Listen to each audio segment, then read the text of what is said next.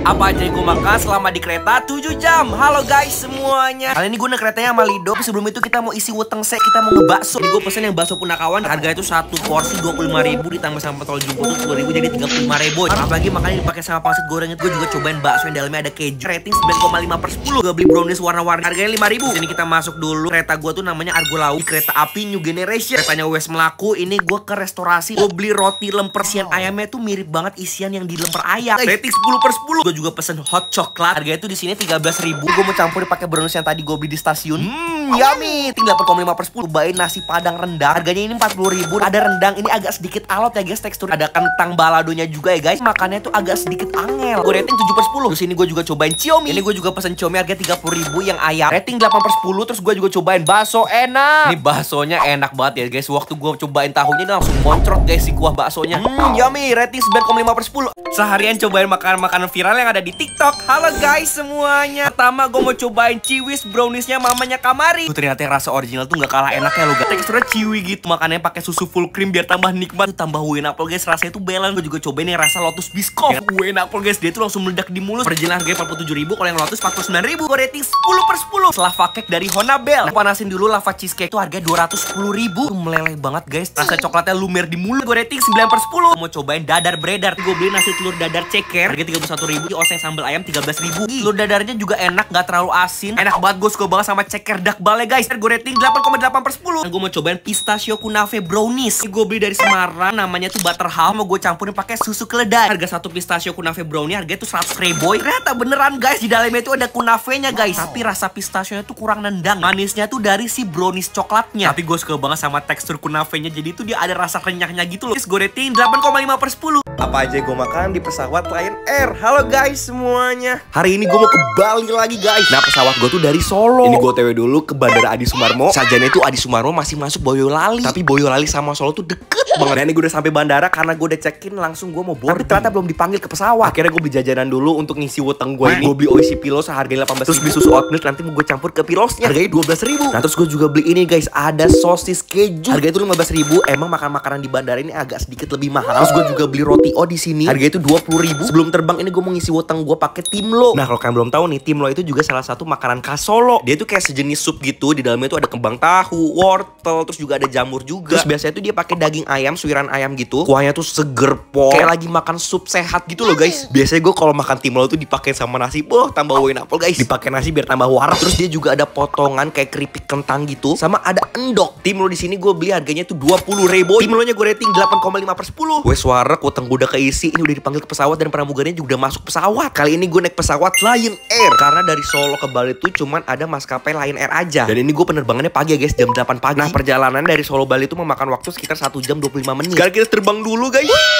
Alhamdulillah pesawatnya nggak delay tepat waktu. Nah pas di atas awan gue mau nyantap sosis keju yang tadi gue beli. Ternyata waktu gue gigit ini nggak muncrat. Biasanya tuh muncrat ada kejunya tuh di dalamnya. Di atasnya sosisnya gue mau tambahin saus yang tadi tuh udah dapat dari Indomaret. Hmm, tambah enak guys kalau dipakai sama saus gini. Sosisnya berdaging terus kejunya tuh asin. Rating 9 per 10. Kalau makan di pesawat tuh gue cuma takut satu kebet ngisi. Nah ini pilos yang tadi gue beli mau gue campurin pakai si susu oat milk. Nah jadi kayak sereal gitu guys jatuhnya. Wah enak banget guys kalau dipakai sama susu oat milk tuh jadi balance rasanya. Ada rasa manis gurih dari ubi unginya. Emang deh ubi ungu dicampur apa-apa tuh bener-bener gak fail. Pilos dicampur susu oat milknya gue rating 9 per 10. Lanjut ini gue cobain roti O. Siapa sih yang gak suka sama roti O? Ini tuh roti enak banget. Isiannya tuh dia dipakai olesan butter yang wangi banget. Rasanya butternya tuh gurih, yummy. Mm, enak banget guys, roti juga lembut. Nah ini pas di atas awan tuh bener-bener bagus banget ya pemandangannya. Indahnya pemandangan, banyaknya ting.